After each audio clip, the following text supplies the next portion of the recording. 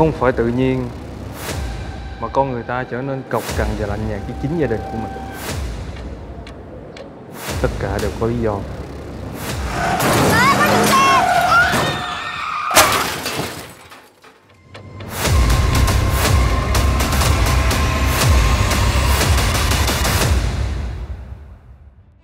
Cái ngày định mệnh đó,